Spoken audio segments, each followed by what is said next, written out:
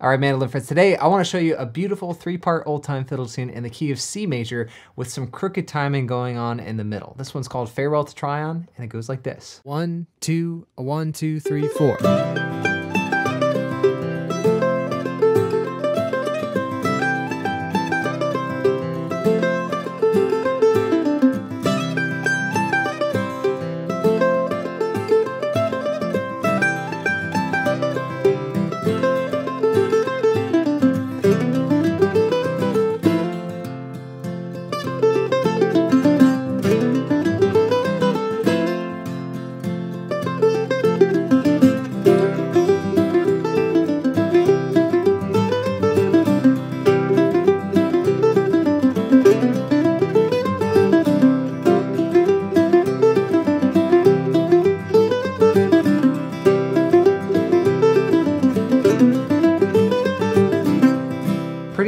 Bittersweet melody, right? And the story behind the tune is also bittersweet. Apparently, the main source for this tune comes from Mac Blalock in Mentone, Alabama from the early 1900s, who learned this from his great uncle Joe, who supposedly wrote this after being laid off at the mill in Trion, Georgia. But there's some great modern versions of this tune now as well. I first heard this from the Darol Anger record E Anda. Joe K. Walsh is playing some beautiful mandolin on there, link in the description below. But you know, the haunting nature of this melody, as well as the uneven, kind of unusual space that we have in the middle section of this tune, makes it one of my favorites to play. And I'm really excited to get to show you how to play it as well. So when you're ready, grab your mandolin. And as always, we're gonna start out with the chords and the form to this song. Again, this tune is in the key of C major. We have three chords that you might already know, but let's review them for good measure. First up with some open chord shapes, we have a C major chord. Then we have an F major chord. Lastly, we have our good old G major chord. And then of course, if you'd rather use those chop shapes, here is your C chop. And then for the F chop, we're actually gonna use that same shape that we used earlier. We're gonna mute our open A string with our free pinky to get that chop sound. And then lastly, your G chop shape. Now for the form of this tune, we have three parts that we're working with, A, B, and C, and this A section is pretty straight ahead, right? We just have an eight measure section that repeats. We start off with a C chord for two measures, and then an F chord for two measures. Back to C for two measures, then F for two measures. Those eight measures are gonna repeat before getting to the B section here, which is a little bit different. You might notice the change in time signature here on this second measure. We start off in 4-4, but on that second measure, we get to 2-4, just for one measure for getting back to 4-4 for the next three measures. You'll notice that happens again on the second line of the B section, right? So this makes counting the chord progression a little bit trickier, but see if you can follow along with me. So we're playing a C chord for the first two measures, including that measure on 2-4, and then we're getting to an F chord for the next three measures. It goes like this. One, two, three, four, one, two, one, two, three, four, one, two, three, four, one, two, three, four. And then again.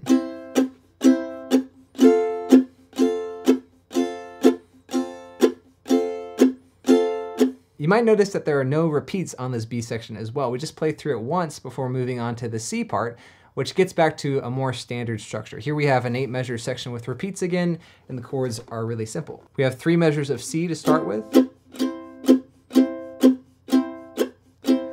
a quick G, back to C. Same thing again on the second line. Then that C part is gonna repeat again before starting over at the beginning of the tune to play through the whole form again and again and again. So try out these chords on your own time. When you're ready, we're gonna check out the melody next, and we'll start off just by listening to this tune again. One, two, one, two, three, four.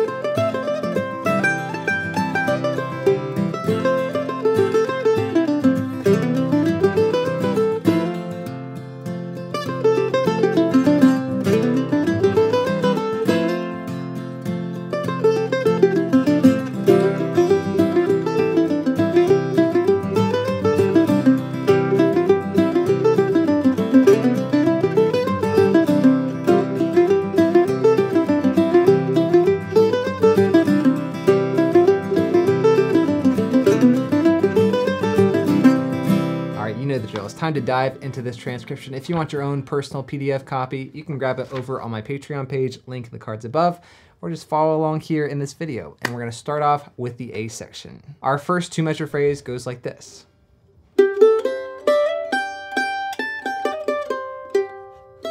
We have a two beat pickup here.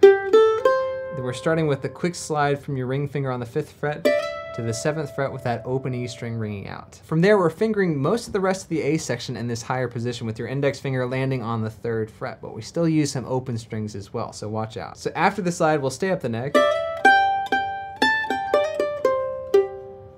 But we still have an open E string at the end on an upstroke. The only other trick is this hammer-on triplet from the five to the six on the A string. We're doing a down for the hammer-on, up on the last note of the triplet, resuming your alternate picking on the down. Let's give it a shot.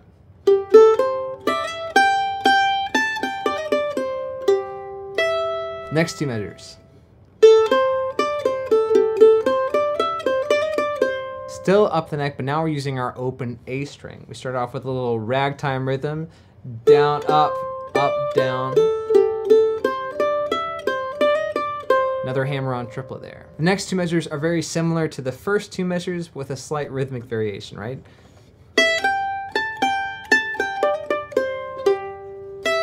We're doing that ragtime rhythm again. Remember your pick strokes will be down, up, up, down. Then these last two measures also sound a little bit familiar with a bit of a different ending, right?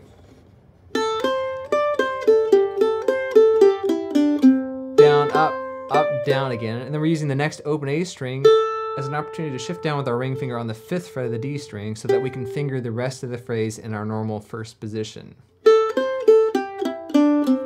The only other trick is we end the whole phrase on an upstroke, which is a little bit different. And that's your A section. Spend some time working this out. When you're ready, let's see if we can play through this whole section once together with the transcription and the backing track. A one, two, three, four.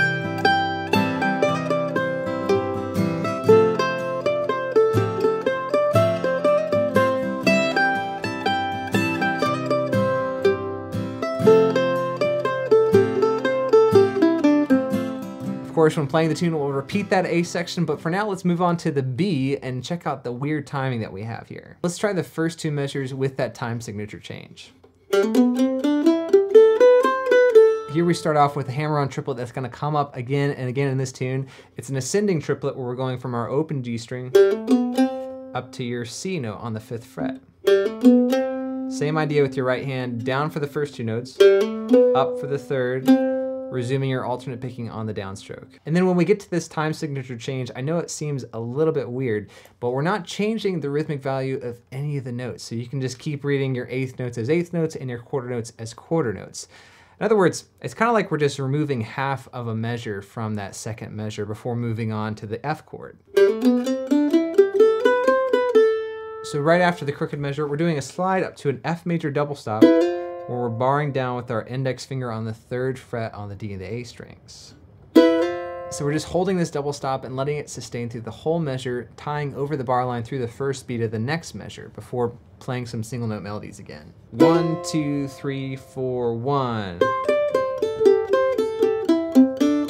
Then at the end of this line, we're doing a similar shift on our open A string with your ring finger down to the fifth fret of the D string so you can finger the rest of the melody in the first position.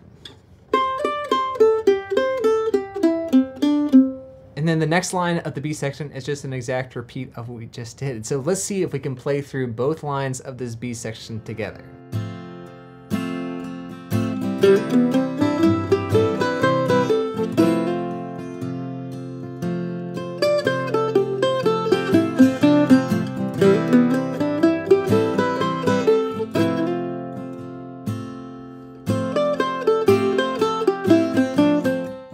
And that's the whole B section, right? No repeats. And with that hard part behind us, we're getting to the C part here, which is a piece of cake. Check out the first two measures.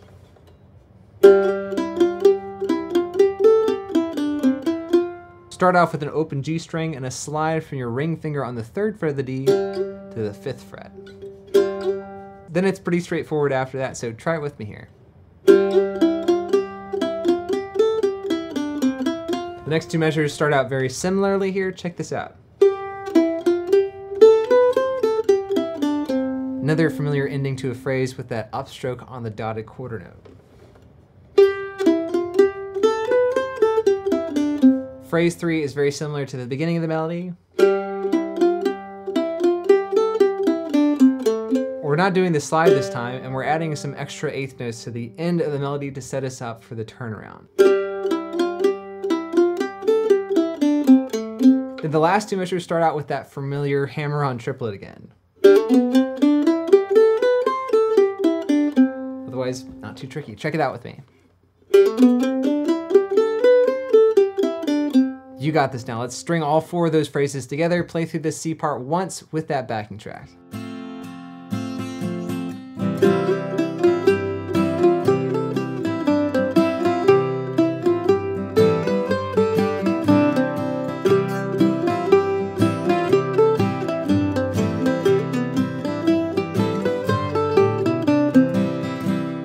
It's time to put all that in context now and see if we can play through the whole tune from start to finish. We have two A's, one B section, two C's. Here we go. One, two, a one, two, three, four.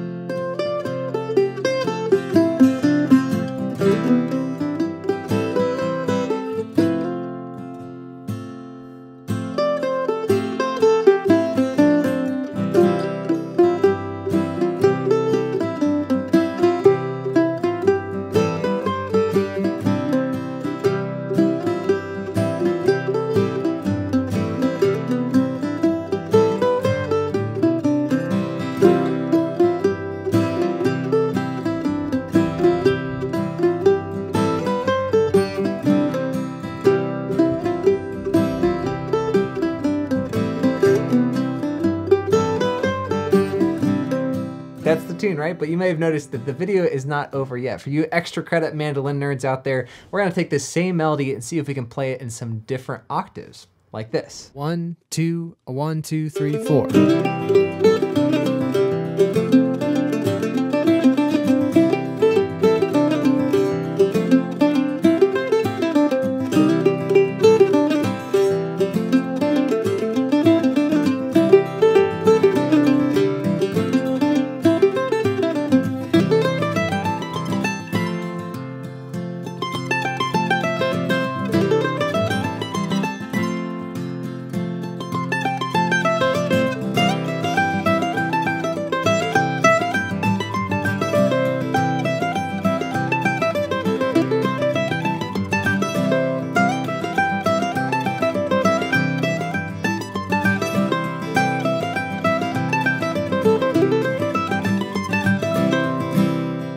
So this A section melody works pretty well in a lower octave. We're gonna start off with the first two measures on our G and D strings like this. So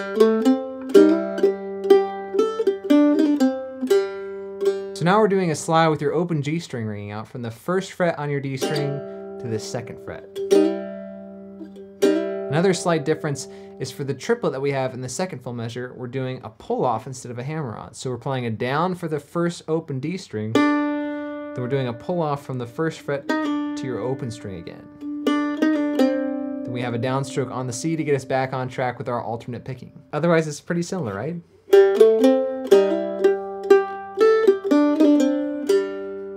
Phrase two here should also sound familiar. Again, now we're doing another pull off triplet instead of a hammer on triplet. Same idea.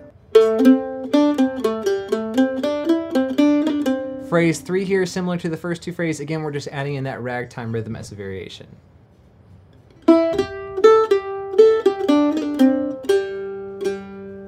And And then for the turnaround phrase, since we've run out of real estate with our open G string, we can't play the same melody an octave lower. So we're gonna have to hop up to the original octave to finish out the phrase like this. But I think that still sounds like the melody, right? So let's try this out. All right, now's your time to shine. Let's see if we can play through that lower octave A section, all four of those phrases together now. One, two, a one, two, three, four.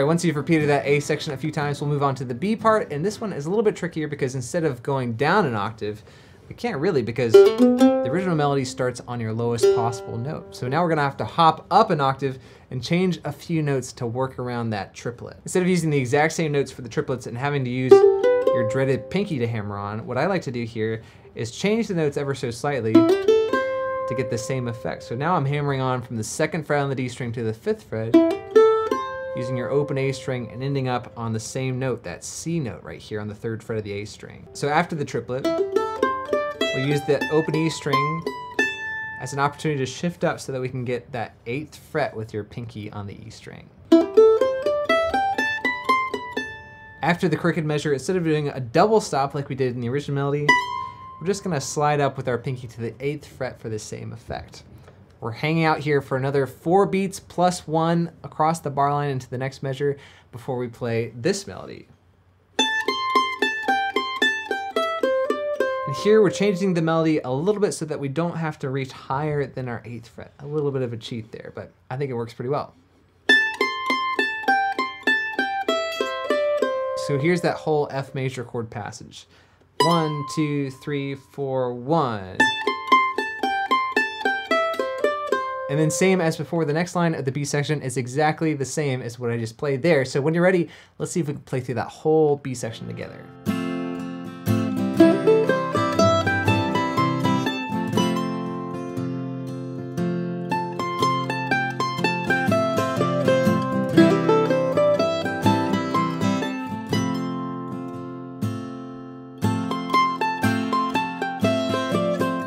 All right, one more part to go. Same idea here with the C part. We're hopping up the octave and playing the melody here. Check out this first two measure phrase.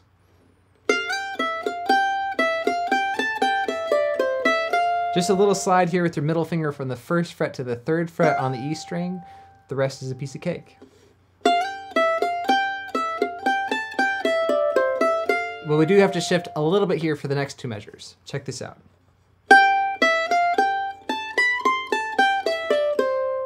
So after the third beat here with your middle finger on the third fret, I'm using my middle finger again now on the fifth fret to finger the rest of the phrase up here. Still using my open E string though to make things a little easier.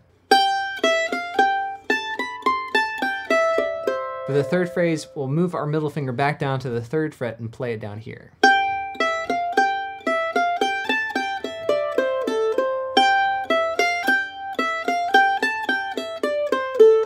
And then for the last two measures, we're gonna change our hammer-on triplet again to do this one that we did in the B section, starting on the second fret of your D string. And then using some open E strings as we move up the neck again. All right, your turn. See if you can play through all four of those phrases of the C part and this higher octave now.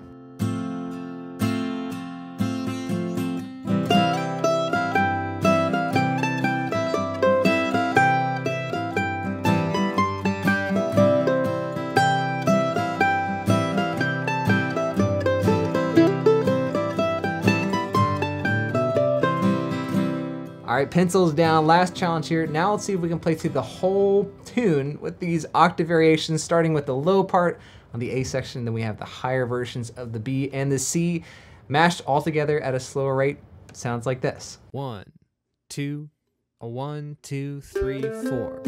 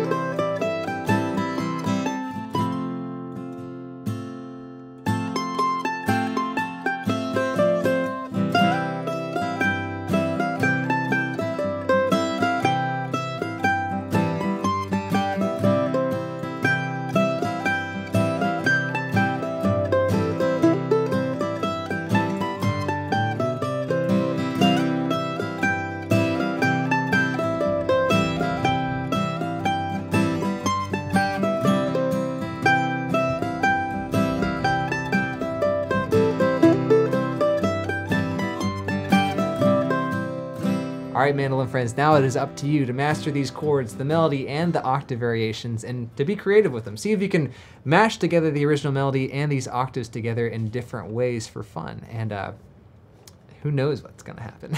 By the way, have you seen our other recent lesson on the tune Happy Hollow? If you like this one, I think you might like that one as well, as well as some of the other lessons that you see here on screen. We got a whole catalog of material here on the channel and over on the Patreon page. So thanks for watching, thanks for subscribing and becoming a patron, and I'll see you in the next video real soon.